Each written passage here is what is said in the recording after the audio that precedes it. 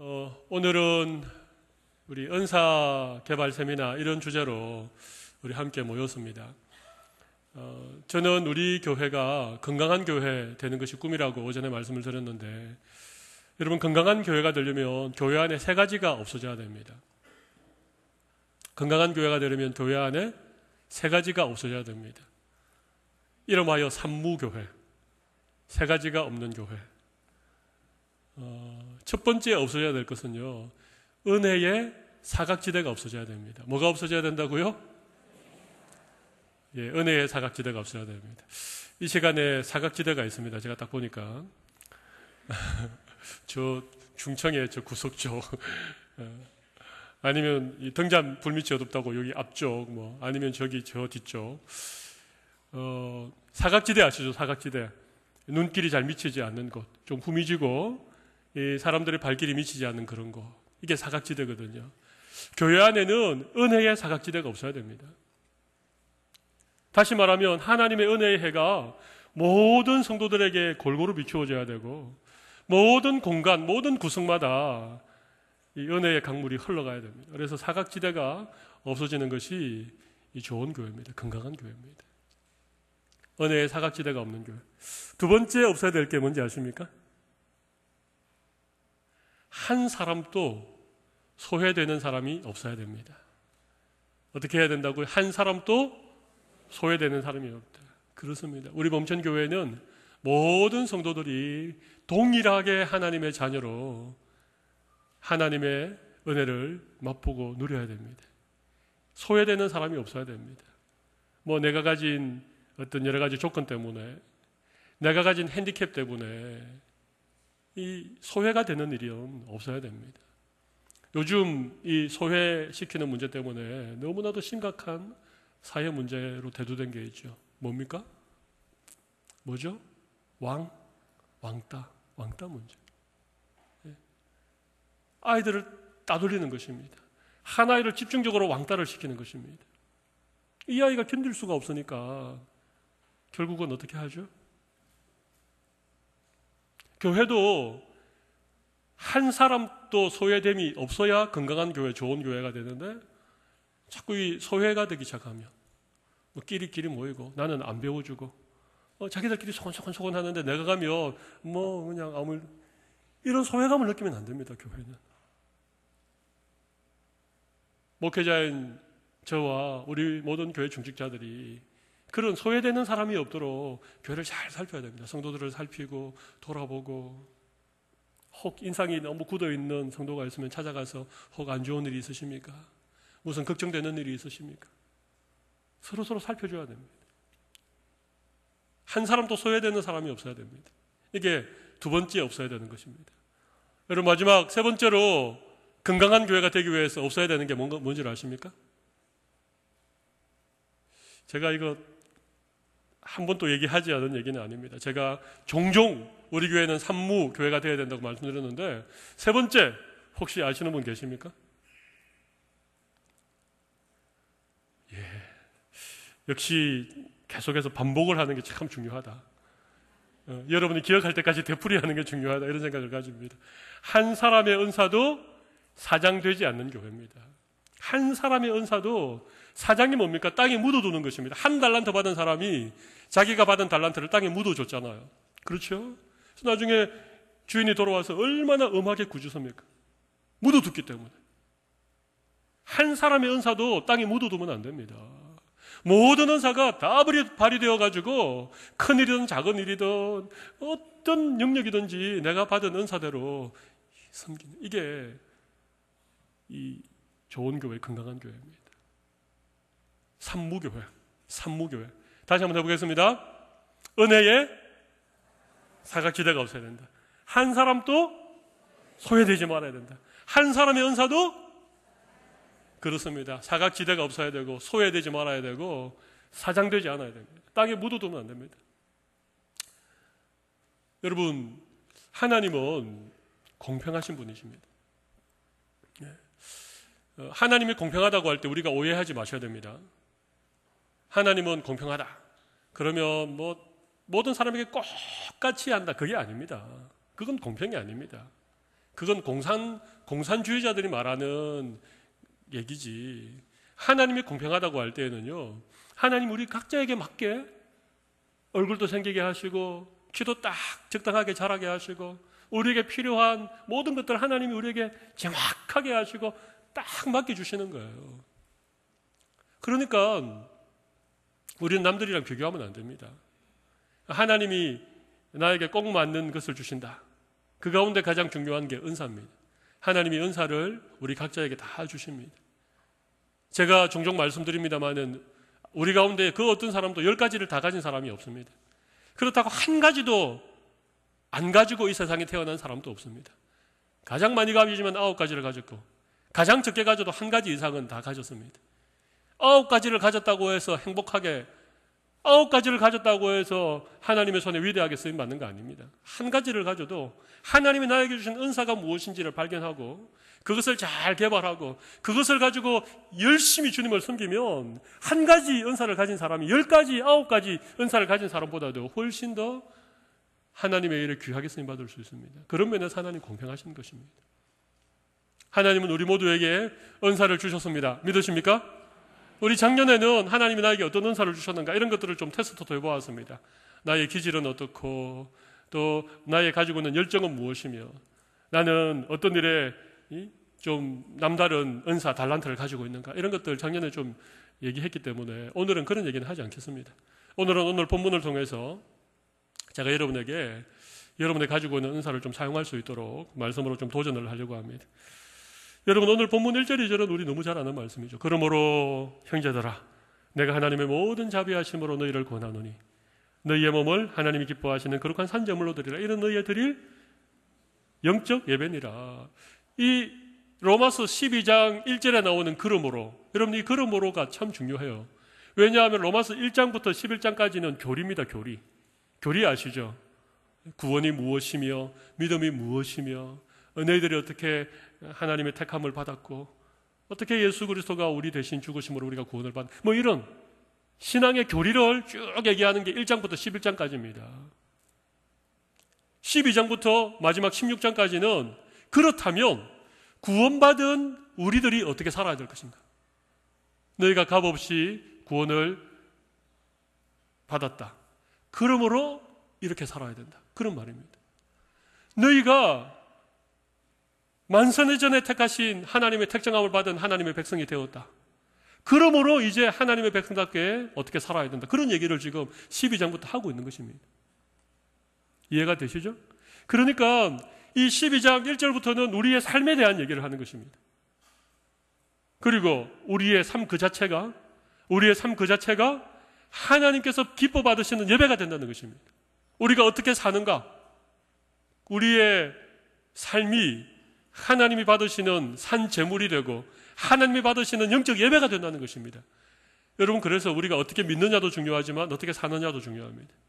우리가 열심히 예배하고 우리가 열심히 신앙생활하는 것도 중요하지만 하나님이 나에게 주신 구원의 은혜를 가지고 어떻게 우리가 살아갈 것인가 이게 너무너무 중요한데 사도 바울은 삶의 얘기를 끄집어내면서 너희의 몸을 하나님이 기뻐하시는 산 제물로 드려라 이는 너희의 드릴 영적 예배니라 우리의 삶을 얘기하면서 제일 먼저 얘기하는, 얘기하는 건 뭔가 하면 우리가 몸된 교회에서 각양 주신 은사를 가지고 숨겨야 된다. 이런 얘기를 하는 것입니다.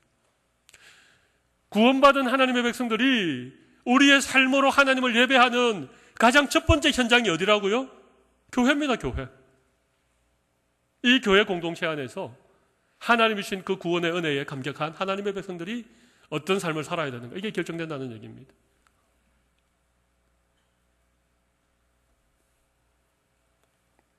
자, 그런 얘기가 1절, 2절에 나와 있고요. 우리 3절을 한번 보겠습니다. 3절을 같이 한번 읽어보겠습니다. 시작. 내게 주신 은혜대로 은혜로 말미암아 너희 각 사람에게 말하노니 마땅히 생각할 그 이상의 생각을 품지 말고 오직 하나님께서 각 사람에게 나누어 주신 믿음의 분량대로 지혜롭게 생각해라. 이 말은요 한마디로 말하면 네 분수를 알아라 이런 얘기입니다. 유명한 철학자 소크라테스가 한 말이 기억나십니까? 네 자신을 이게 가장 중요한 철학의 명제입니다. 네 자신을 알라는 것입니다. 근데 너무 신기하게 말이죠. 인간이 자기 자신을 제일 모릅니다. 저도 저를 모릅니다. 여러분 잘 아십니까? 여러분 자신을? 잘 아십니까? 옆 사람에게 한번 물어보십시오. 당신은 당신은 잘 알고 있습니까? 물어보십시오. 진짜로 잘 알고 있습니까? 물어보십시오.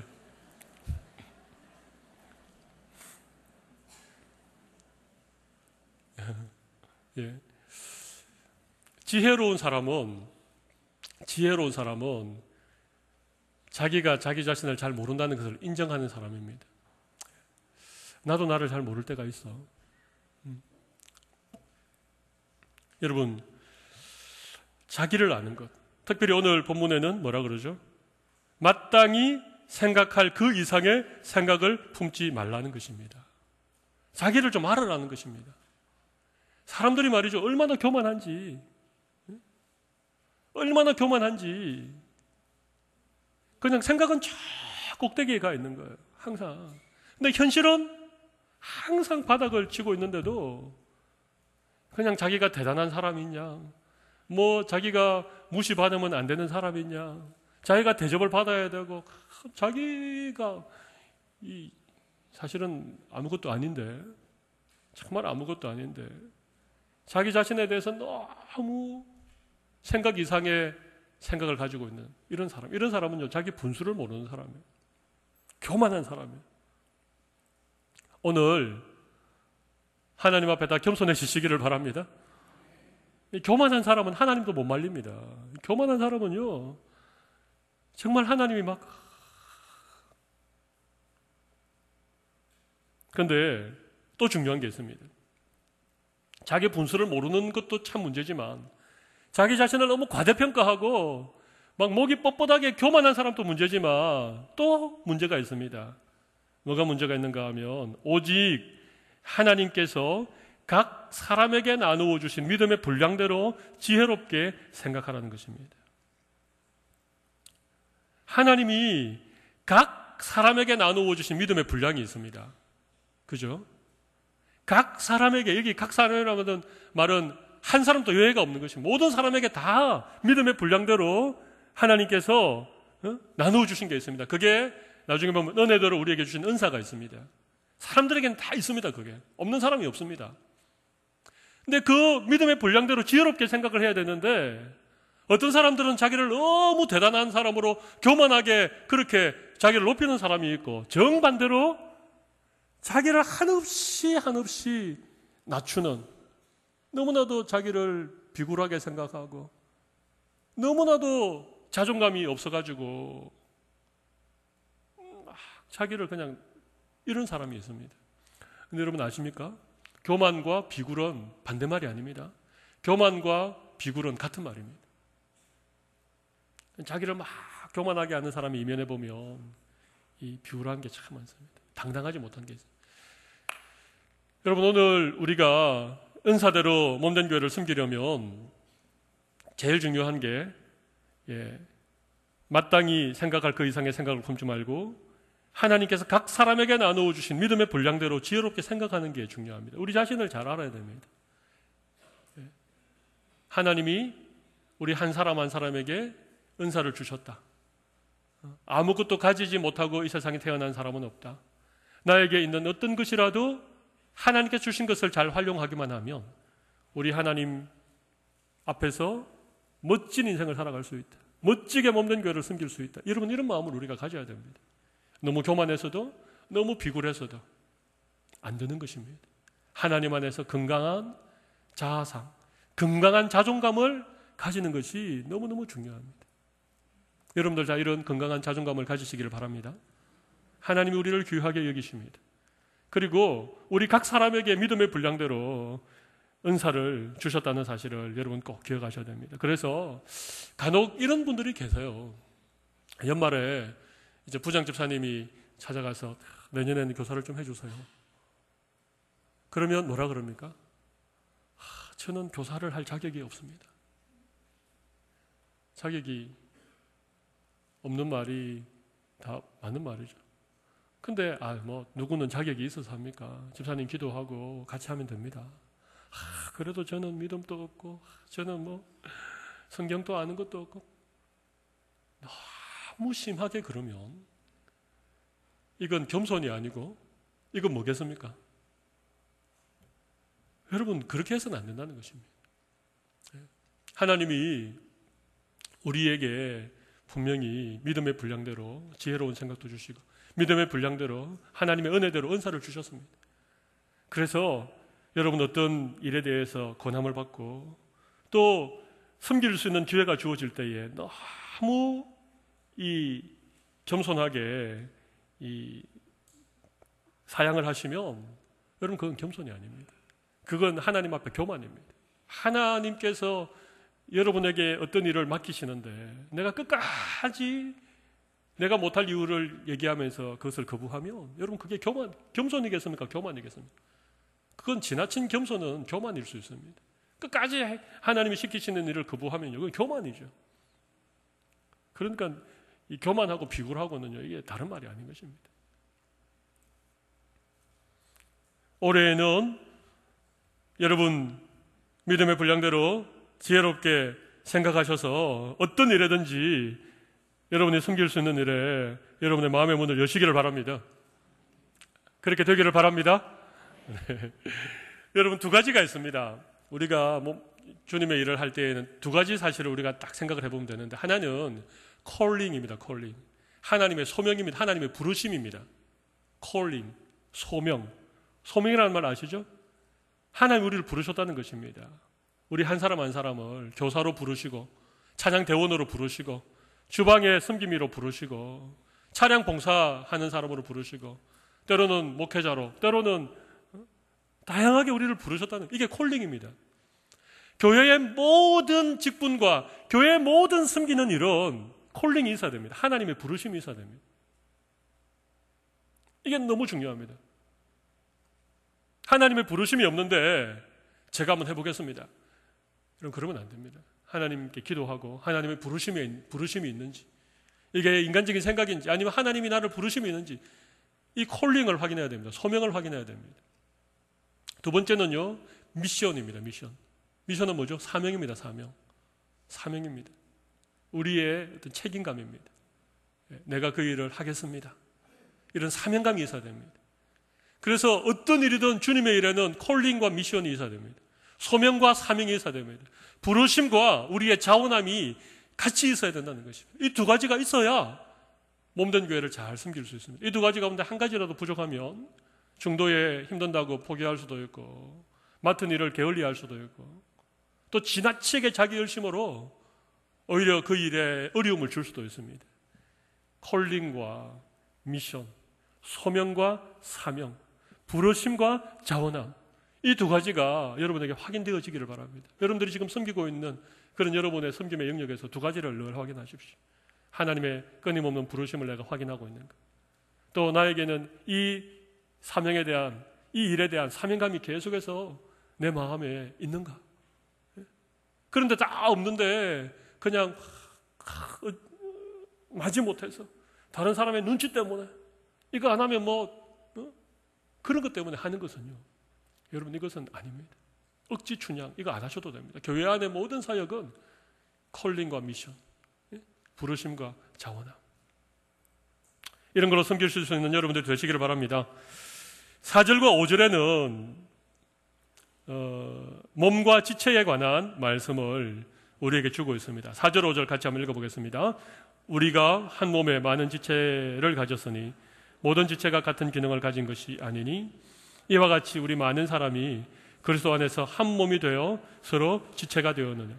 여러분 이게 몸된 교회를 섬기는 데 정말 중요한 원리입니다. 한 가지는 뭡니까? 몸이라고 하는 것입니다. 그죠? 또 한 가지는 뭡니까? 지체라고 하는 것입니다. 예. 몸과 지체. 여러분 몸은 뭐죠? 몸은 이 몸 아닙니까? 뭐 우리 몸 그죠? 뭐 팔 다리, 뭐 몸통 뭐 이렇게 다 몸이고 지체는 뭡니까? 그 몸에 붙어 있는 뭐 손가락, 발가락, 뭐 눈, 코, 입, 또 우리 안에 있는 뇌나 뭐 소장이나 대장이나 십이지장이나 이런 것들 아닙니까? 아, 우리는 그리스도의 몸이라고 할 때 하나의 몸을 말합니다. 하나의 몸. 한 몸, 하나의 몸. 그래서 우리는 다 하나입니다. 여러분이 동의할지 동의를 안 할지 모르겠지만 우리는 다 하나입니다. 우리는 한 몸입니다. 예, 내가 당신과 한 몸이라니까 굉장히 기분이 나쁩니다. 이러지 마십시오. 내가 당신과 한 몸이어서 영광입니다. 옆에 계신 분들은 이렇게 합시다. 제가 당신과 한 몸이어서 너무나도 감사하고 영광스럽습니다. 이렇게 한번 인사하시기 바랍니다.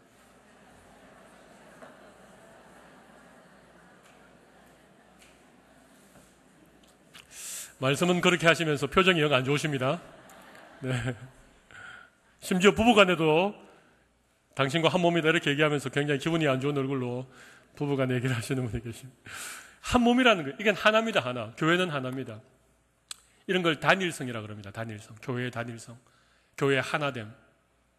여러분, 교회는요, 예수 그리스도 안에서 하나여야 됩니다.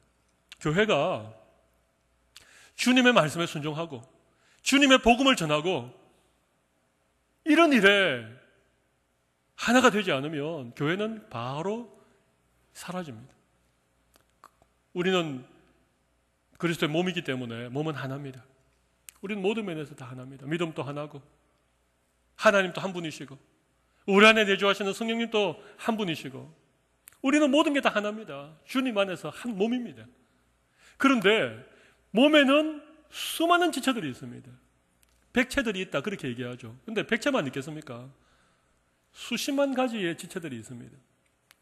우리가 다 확인하지 못한 아직도 현대의학이 다 규명해내지 못한 우리 몸에 신비로운 그런 지체들이 다 있습니다.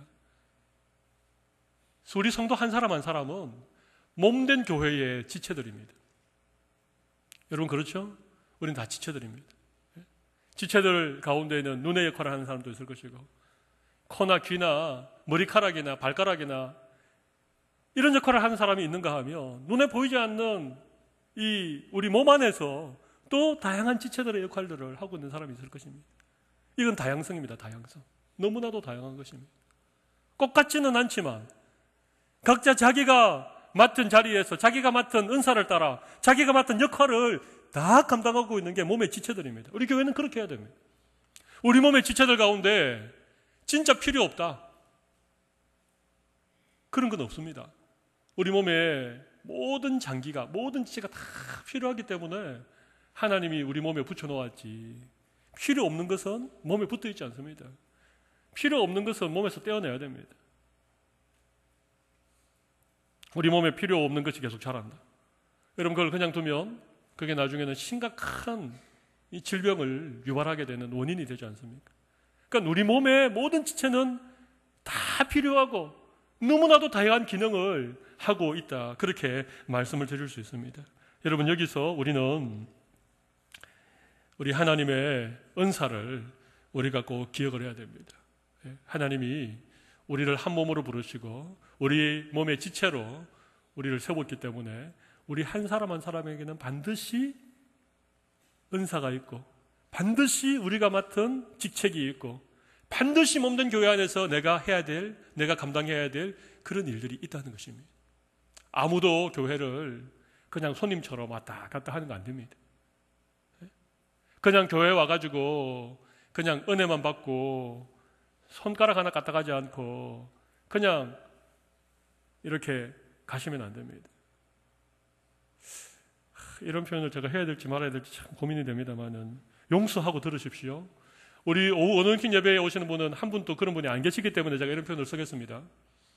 혹시 제가 이런 표현을 썼는데 제가 쓴 표현 때문에 시험 받는 분이 계시면 나중에 예배 마치고 저한테 오십시오. 기생충 같은 교회는 안 됩니다. 기생충은요, 다른데 빌 붙어서 피를 빨아먹고 영양분을 훔쳐서 먹고 살아가는 이 나쁜 해충들, 이걸 기생충이라 그럽니다. 여러분, 교회는 기생충이 존재하면 안 됩니다. 빨대 꽂고 피만 빨아먹고 말이죠. 자기 배만 불리고 말이죠. 자기 이익만 챙기고 그런 교인이 교회 많아지면 그 교회는 건강하게 될 수가 없습니다. 좋은 교회, 건강한 교회는 전부 다 몸된 교회의 한 가지라도 몸의 지체로서의 역할들을 감당하는 그런 역할. 하다 못해 휴지 하나라도 주고 진짜 하다 못해. 어, 설거지 하는데도 가서 좀 섬기고 말이죠. 아이들, 어? 주일학교 아이들 그냥 막 신발 마음대로 벗어놓고 들어가면 주일학교 시작하고 나서 조용히 가서 신발이라도 하나하나 챙겨. 여러분, 그 정도의 마음이 있어야 우리가 몸의 지체라고 말씀드릴 수 있죠. 그런 마음이 전혀 없는데 그냥 교회를 손님처럼 왔다 갔다 하고 우리가 몸된 교회를 섬기는 것 중요합니다. 왜? 우리는 몸의 지체이기 때문에. 모든 지체는 고유한 역할이 있고 그 역할을 우리가 감당할 때 우리의 온몸이 건강해지는 것처럼 우리 몸천 교회가 건강한 교회, 건강한 공동체가 될 수 있기 때문에 여러분 고민하셔야 됩니다. 어떤 걸로 내가 몸된 교회를 섬기지? 어떤 분들은 시간도 없고 또 정말 몸도 약하고 그런 분들 계실지 모르겠습니다. 여러분 그러면 기도라도 하십시오. 기도라도 해 주십시오. 낮이건 밤이건 여러분 시간 될 때 교회 나와서 기도도 해 주시고 물질로도 섬겨 주시고 이도 저도 안 되면 여러분 좀 따뜻하게 사람들을 격려해 주십시오. 아이고 일주일 동안 보고 싶었는데 오늘 아침 보니까 너무 좋다. 오는 사람마다 좀 그렇게 격려해 줘 보십시오. 아니면 환하게 좀 인사라도 해 보십시오. 사람들을 좀 꼭 껴안아 주십시오. 우리가 한 몸인 교회에 우리가 지체들이기 때문에 몸된 교회를 섬기려고 하는 이런 우리의 마음이 우리의 가슴에 가득 찰 때 여러분 좋은 교회 될 줄로 믿습니다. 여러분 다 어느 한 가지라도 섬기시는 성도님이 다 되시기를 바랍니다. 예, 혹시 제가 기생충 같은 교인이라고 해서 상처받은 분 계십니까? 정말 용서해 주십시오. 이 자리에는 아무도 계시지 않습니다. 아무도 계시지 않습니다. 여러분 그런 교인 되면 안 됩니다. 예, 어떤 것이라도 섬기시면 됩니다. 여러분 보시오 6절을 한번 읽어보겠습니다. 6절 같이 읽겠습니다. 우리에게 주신 은혜대로 받은 은사가 각각 다르니 혹 예언이면 믿음의 분수대로 예 거기 앞절에 보면 어, 앞부분에 보면 우리에게 주신 은혜대로 받은 은사가 각각 다르다고 했죠. 그죠? 그러니까 은혜, 은사 이 두 말은 참 비슷한 의미의 말입니다. 그러니까 하나님이 우리 한 사람 한 사람에게 주신 은사는 은사 그 자체도 기프트, 선물이라는 말이지만 은혜대로 주셨다는 말입니다. 여러분 은혜가 뭡니까? 값 없이 받는 것을 은혜라 그럽니다. 내가 그것을 받을 만한 자격이 있는 것을 있어서 받는 것은 은혜라고 하지 않아요. 그건 대가라 그럽니다.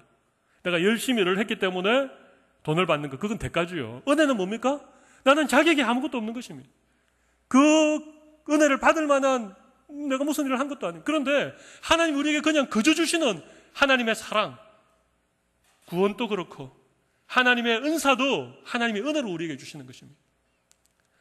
그러니까 좀 들떨어진 사람은 자기가 가진 은사를 자랑합니다. 아, 나는 이런 은사가 있다. 근데 그 자랑하는 이면에 보면 마치 자기가 잘났어. 자기가 그 은사를 받을 만한 자격이 되기 때문에 자기가 뭔가를 열심히 해가지고 어떤 수고의 대가로 하나님께 은사를 받았다라고 하는 이런 잘못된 착각 때문에 은사를 자랑하지.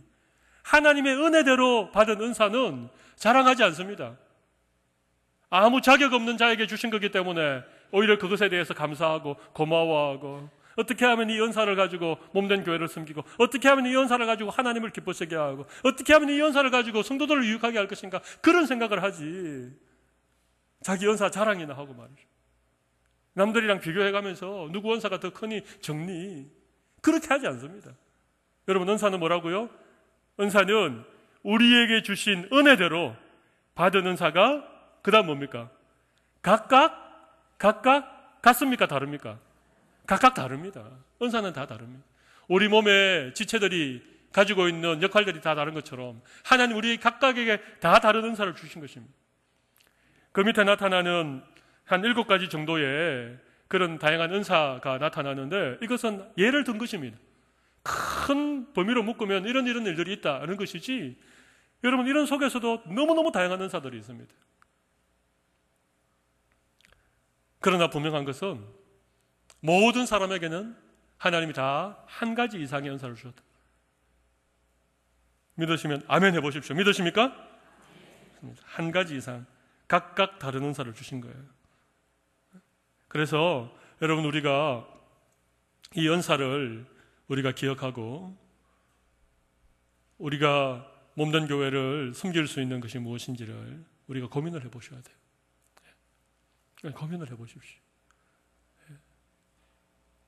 네. 아무 생각 없이 아니 뭐 저기 또 교회 목사님들도 계시고 장로님들 계시고 권사님들 계시고 다 하고 계신 분 계시는데 뭐 나는 뭐 그렇게 별 생각 없이 부담 없이 계셨다면 오늘 이 시간 이후로 아, 하나님이 나에게는 어떤 사를 주셨고 내가 몸의 지체로서 몸된 교회를 어떻게 섬겨야 될 것인가 내가 한 가지라도 섬겨야 되는데 한 가지라도 섬겨야 되는데 어떤 걸로 나는 교회를 섬겨볼까 어떻게 나는 몸에 유익이 될 수 있도록 내가 지체로서의 그런 섬김 역할을 감당해 볼까 여러분 그걸 두고 한번 기도해 보십시오 한번 기도해 보십시오 하나님 나에게 주는 은사가 뭡니까 내가 어떤 걸로 몸된 교회를 섬기면 교회가 유익하겠습니까? 하나님이 기뻐하겠습니까? 성도들에게 득이 되겠습니까? 정말 기도해 보시면 하나님이 우리에게 주시는 은사가 무엇인지를 깨닫게 해주십니다. 그 은사를 깨닫고 그 한 가지 그 것을 여러분이 기쁨을 한번 섬겨 보십시오. 하나님의 콜링을 깨닫고 여러분이 사명감을 한번 섬겨 보십시오. 여러분 그러면 지금까지 했던 교회 생활과는 차원이 다른 교회 생활의 기쁨을 맛보게 됩니다. 여러분 범천교회, 우리 부산 범천교회 생각하고 기도할 때 여러분의 마음에 어떤 생각이 드십니까? 지역과 일방을 섬기는 건강하고 행복한 교회. 늘 우리 외치기도 하고 기도도 하는데 우리 범천교회가 지역과 일방을 섬기는 건강하고 행복한 교회 되게 이렇게 기도할 때 여러분의 마음에 어떤 생각이 드세요? 여러분이 오늘 제가 드린 말씀을 듣고 한 가지라도 몸된 교회를 섬길 게 뭔가 그런 걸 고민하고 작은 영역이지만 아무도 봐주지 않는 부분이지만 여러분이 한 가지라도 정말 교회를 몸의 지체라고 하는 생각을 가지고 숨기면서 교회를 위해서 한번 기도해 보십시오. 부산 범천교회 이 여섯 글자가 끝나기도 전에 우리 마음에 감동이 있을 것입니다. 왜? 내가 교회를 사랑하고 몸된 교회를 위해서 숨기고 있기 때문에. 우리의 기도가 달라지는 것입니다. 기도할 때 받는 은혜가 달라지는 것입니다. 그렇지 않고 기도도, 기도도 안, 하시겠지만 그렇지 않고 기도하셔도 그래서 여러분 꼭 오늘 이 말씀 듣고 여러분들 한번 꼭 기도해 보십시오. 하나님께서 어, 나에게 주신 은사가 무엇이며 내가 몸의 지체로서 어떻게 몸된 교회를 섬겨야 될 것인가. 한 가지라도 하나님 깨닫게 해주시고 한 가지라도 섬길 수 있는 은혜를 주십시오. 꼭 그렇게 기도하실 수 있는 여러분들이 되시기를 바랍니다. 여기 일곱 가지가 나옵니다. 예언, 섬기는 일, 가르치는 자, 위로하는 자, 구제하는 자, 다스리는 자, 긍휼을 베푸는 자. 오늘 시간이 없기 때문에 이런 거 다 하나하나 설명하지 않겠습니다. 그러나 보면 말씀으로 사역하는 분이 계시고 또 이렇게 어떤 몸으로 섬기는 그런 부분이 있고 또 구제나 극률 같은 또, 또 물질이나 시간으로 또 이렇게 돕는 그런 어, 큰 역할들이 있습니다. 어, 다 다양합니다. 이렇게 말씀으로 또 가르치거나 예언하는 그런 사람도 있는가 하면 몸으로 직접 이렇게 섬기는 그런 사람들도 있고 또 구제하거나 긍휼을 베풀거나 자기가 가진 물질이나 시간으로 이렇게 섬기는 영역들이 있습니다. 어느 것도 괜찮습니다. 그러나 하나님이 나에게 주신 것을 깨닫고 섬겨보시기 바랍니다. 근데 한 가지 중요한 게 있습니다. 우리가 어떤 일을 섬기든지 그 모든 섬김에 있어서 가장 중요한 원리는 구절. 구절 같이 한번 읽어보겠습니다. 시작. 사랑에는 거짓이 없나니 악을 미워하고 선에 속하라. 어떻게 해야 된다고요? 사랑으로 섬겨야 됩니다. 고린도전서 12장에는 다양한 은사가 소개되어지고 있습니다. 방언을 비롯해서 고린도 교환에서 수많은 은사가 소개되고 있는데 고린도 전서 12장 마지막 절에 보면 내가 가장 큰 은사를 너에게 보이겠다. 그게 뭡니까?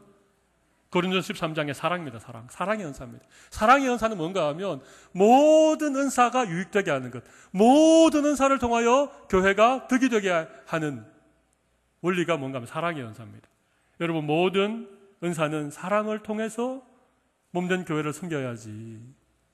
여러분이 가지고 있는 은사를 다른 의도와 목적으로 사용하게 되면 몸에 유익이 안 됩니다.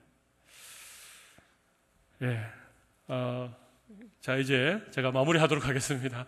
제가 말씀을 너무 오래 전해가지고 좀 지루하시죠? 자, 눈을 뜨시기 바랍니다. 고개를 들라. 우리 중동부 친구들. 네. 예, 여기 등잔 밑이 사실은 은혜의 사각지대입니다. 맨 앞에 앉아서.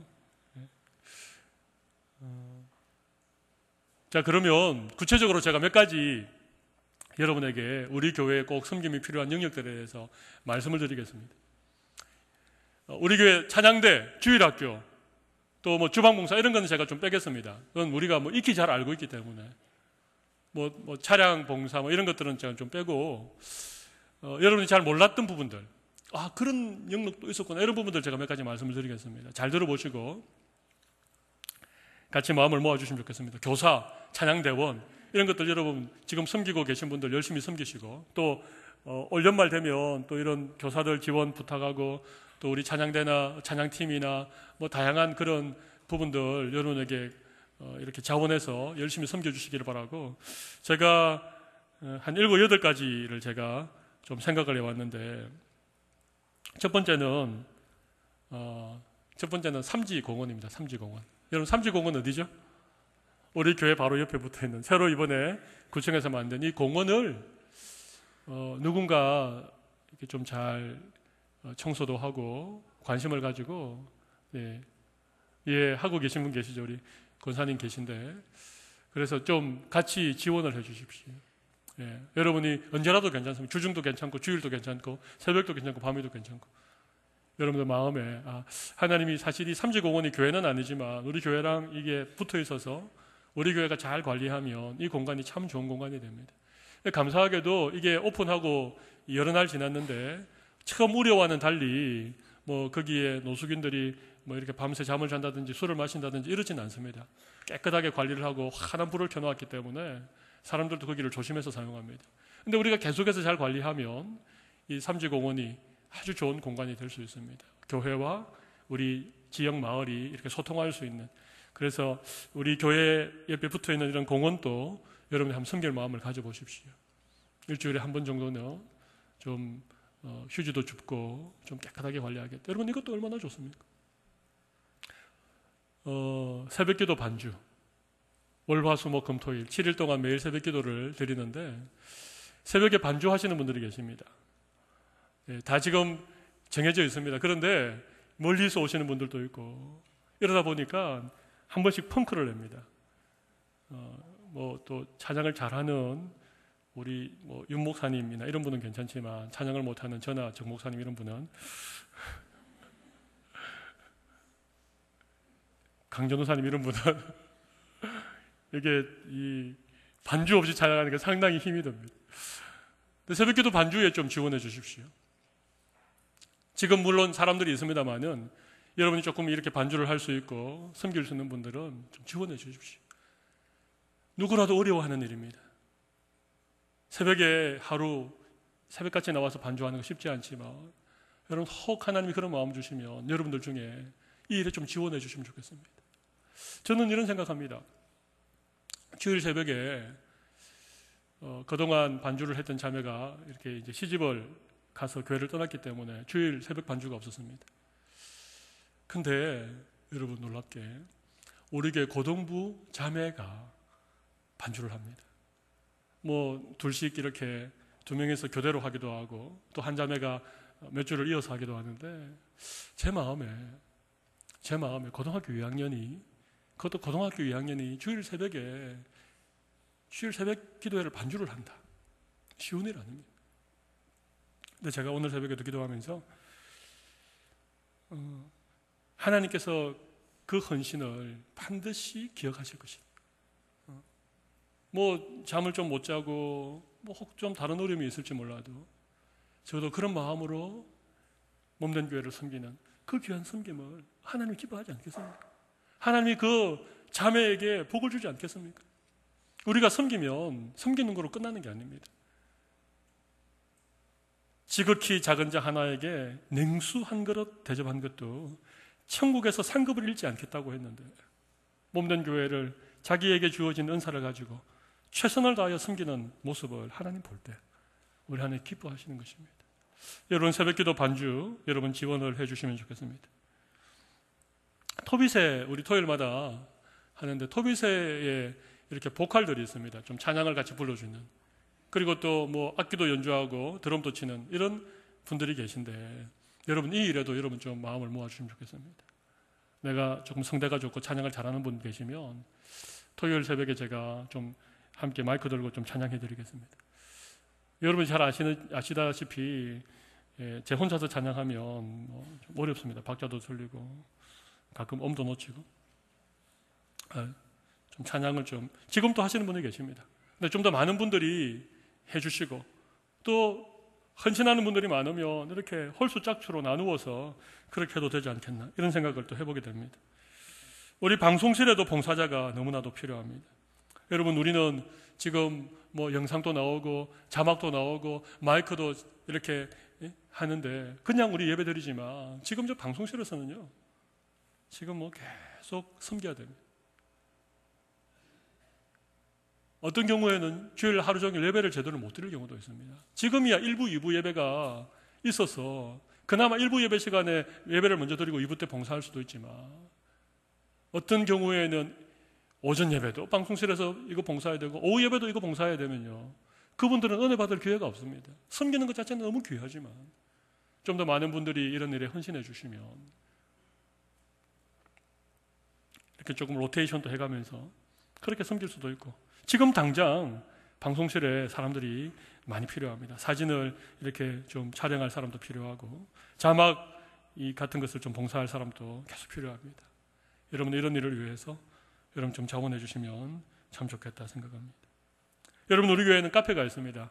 카페 아래 위, 아래 위, 아래와 위, 이 세대 간의 소통 이런 어떤 소통의 공간 카페가 있는데 여러분 잘 아시다시피 여기에 늘 수고하는 분이 계십니다. 여러분들은 그냥 편하게 가서 차 한잔 마시고 나오면 되지만 그것을 또 준비하고 또 뒷정리하고 바닥을 닦고 그럼 이런 일에도 여러분들이 좀 자원해서 봉사해 주시면 감사하겠습니다. 우리 교회는 주보를 비롯해서 한 달에 한 번씩 범선, 범천 뉴스레터가 토비세 시간에 발행이 되고 있습니다. 문서 사역입니다. 이런 일에도 사람이 필요합니다.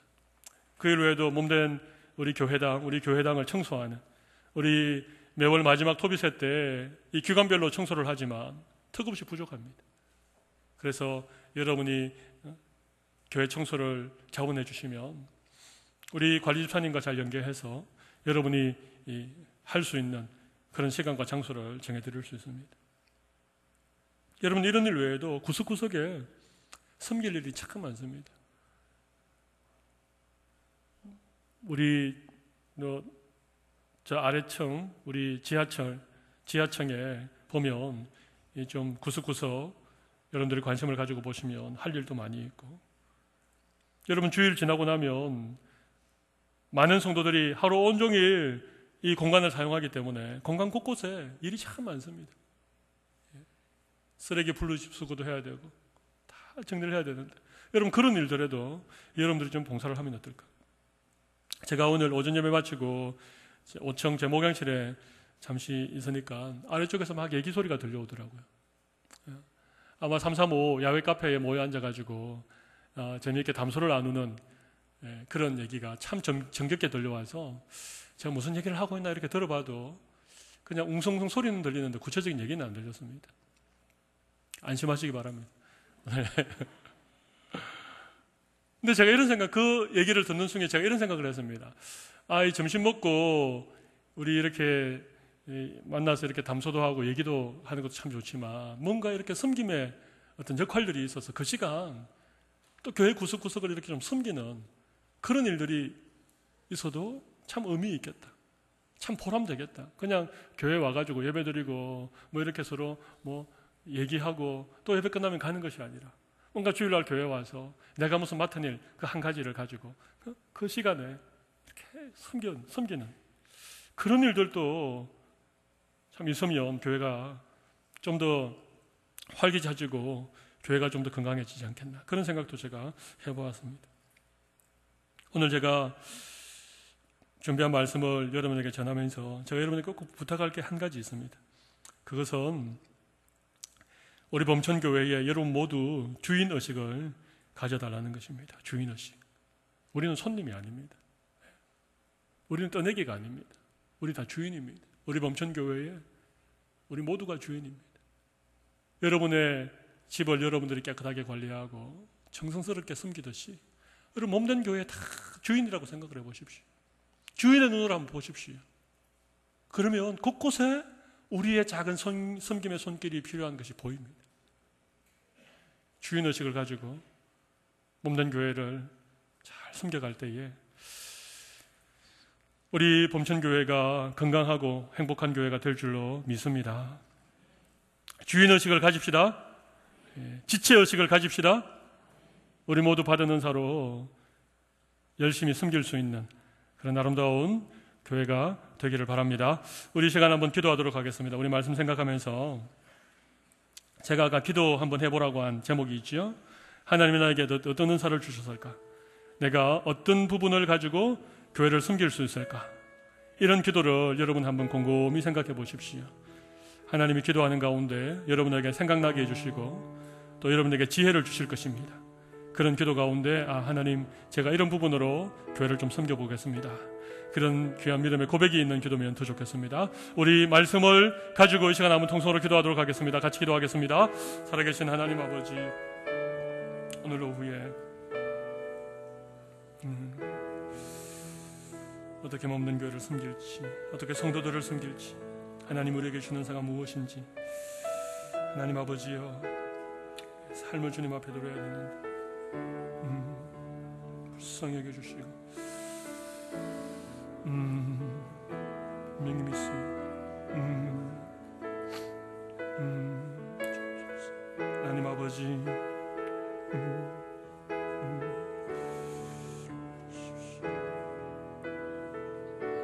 하나님 아버지.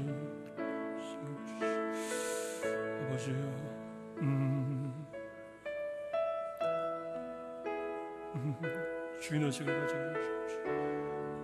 없는 교회 지체인 것을 기억하게 하십시오 하나님 한 사람의 연사도 사장되지 않게 하십시오 한 사람도 소외되지 않게 하십시오 은혜의 사각지대가 상무교회를 볼수 있도록 하나님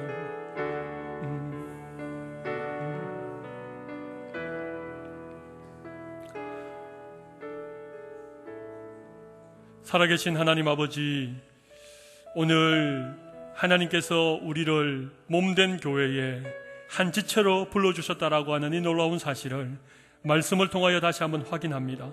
그리고 우리에게는 하나님의 은혜대로 각각 다른 은사를 주셨다는 사실을 우리가 분명히 깨닫고 오늘 기도할 때에 하나님 우리가 어떤 부분을 섬겨야 될지 어떤 영역을 우리가 감당해야 될지 그렇게 기도하게 하신 것을 감사합니다. 우리 교회는 한 영혼도 소외되지 말게 하시고 은혜의 사각지대가 없게 하여 주시고 한 사람의 은사도 사장되지 않도록 하나님께서 건강한 교회로 세워가 주시기를 간절히 원합니다.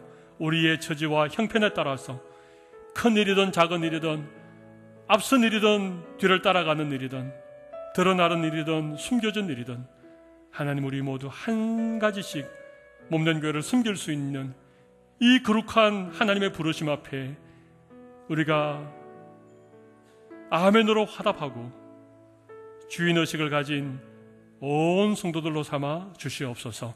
그래서 올 연말 또 내년 정말 많은 성도들이 다 몸된 교회에 한 가지씩 사역에 동참해서 우리 교회는 정말 멋진 교회, 건강한 교회, 온 성도들이 함께 힘을 모으는 교회로 끊임없는 하나님의 은혜를 누릴 수 있는 귀한 교회가 되게 하여 주시옵소서. 살아계신 예수님 이름으로 간절히 기도 올리옵나이다. 아멘. 우리 주 예수 그리스도의 그 신은혜와 하나님 아버지의 무한하신 사랑과 성령님의 교통하심이 오늘 우리에게 주신 은사를 기억하며 하나님 앞에 주인의식을 가지고 숨기기를 마음에 결단하는 모든 주의 백성들의 심령 위에 지금부터 영원토록 함께 있을지어다. 아멘.